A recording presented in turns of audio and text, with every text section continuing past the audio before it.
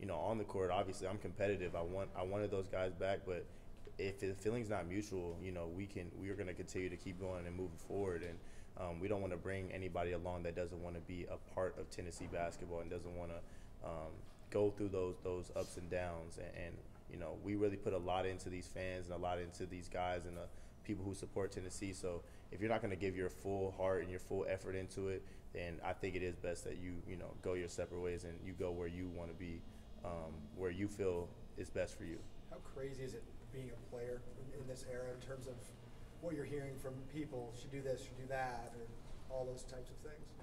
Um, I think it's it's it's honestly it's kind of crazy. You know, it, it's it's a new world we live in, in in college basketball, and it's something that everybody has to get used to. Um, it kind of feels like the free agency with the NBA, just how many people are getting you know tugged t- certain ways, getting influenced certain ways, um, being promised certain things. You know, you know being uh, you know fed dreams that that they have towards other teams and it's really it's it's unique, but it's I feel like it's hard for a lot of players, especially players that are younger um, and that are influenced by a lot of different things. Um, so that's why I can't blame how many people are going in the transfer portal, just because they want to seek new options. But for me personally, I really feel like the best you know the best things in life you know that you have to earn, and, and it's not going to be easy. So if something is hard and something is blocking your way, you got to find another way around it, and not just trying to go to a different avenue. Um, like I said, I've been here to support Tennessee, and they've supported me, and I want to do whatever I can to bring more and more wins because I feel like the fans deserve it most of all. I feel like the coaches have worked extremely hard, and obviously uh, the team that, that has been here has worked even harder. So my whole goal is to you know, I came here to do something. I came here to accomplish a task, and that's to be, you know, a great Tennessee basketball player and to be a winner. And I'm gonna continue that path. And you know, you just gotta get used to everybody else moving around. Um, it's just college basketball now. Once the season ends, you guys have one-on-one meetings with the coaching staff. What are those meetings like, and what was discussed with you? Um, it was, you know, it was really good. It was really positive. Um, we just had, you know, pretty much one of the best seasons of Tennessee history, and it, it's kind of surreal to say that um, because you know in the moment you're just thinking about the next game, but once it all settles down and it's all said and done, like you really have to think about what you've accomplished, and I think that's what we did in the meeting. Um, obviously, it was some things that they've asked of me moving forward and stepping into an even bigger role, um, and you know want to be able to fulfill that role and want to be able to do whatever I can to to maximize my potential in that role. Um, but I think everything that we discussed was positive. Just trying to keep moving forward and trying to find that next step in this new chapter in Tennessee basketball. Jahmai, I'm sure you've benefited in the past from having, you know, parents who've dealt with, you know, older brothers, been through this process, you know, college athletics before. But how much of an asset do you think they were in this current climate with everything you got coming at you?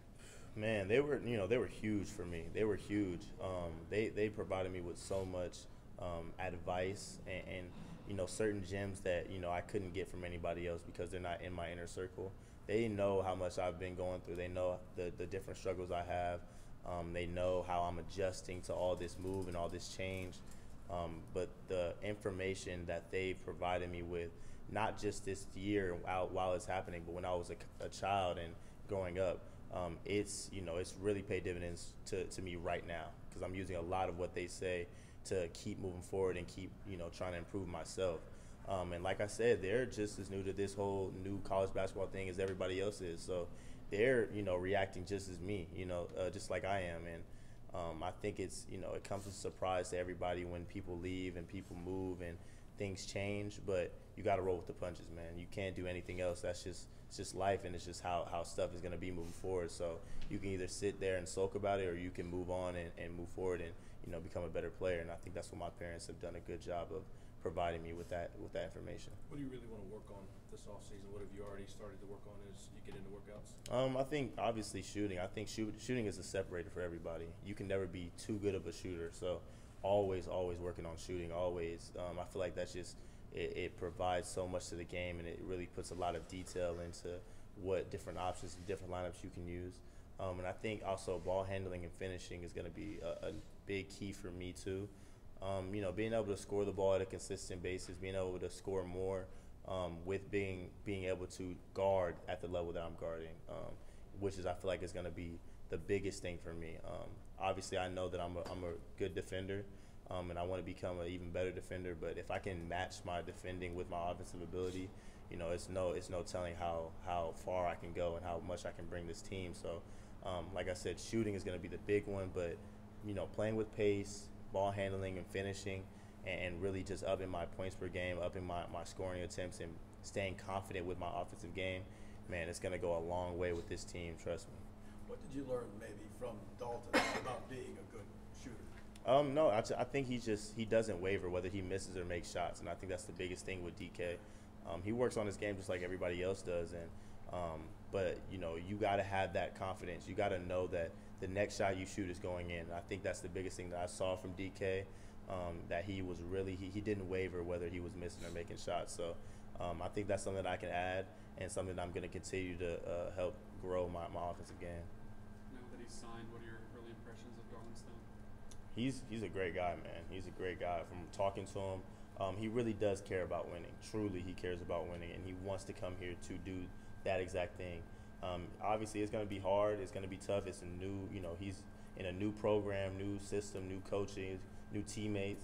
Um, but we're going to support him as much as we can and, and try to make it as easy of a fit as, as we can for him. Um, you know, we, we care about anybody that wants to give their all to Tennessee. And from talking to him, that's exactly what he wants to do. He's excited to come here and get better. He's excited to come here and, and start this new chapter. And hopefully, we can get even better than we did last year. But he, he wants to win. He's made that known to me and, and the team.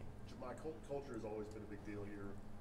As one of the seniors, you know, at this time of year, how seriously do you take your role as kind of a gatekeeper when you guys are bringing in these visitors or potential, you know, teammates to, you know, look at them, you know, would they be a fit, you know, and, and communicate that to the coaches? I mean, it's, it's huge. It's huge. I think that's that's probably one of the most underrated things as part of recruiting. Um, it's not just about getting who, whoever had the most points per game or getting whoever had the most rebounds.